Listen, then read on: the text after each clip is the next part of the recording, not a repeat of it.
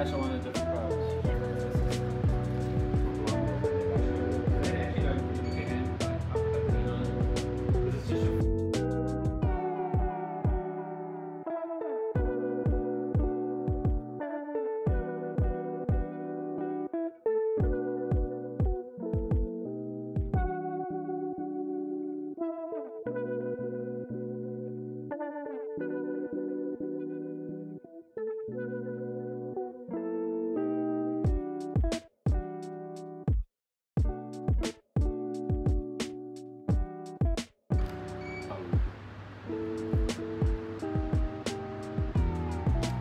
I, don't remove stuff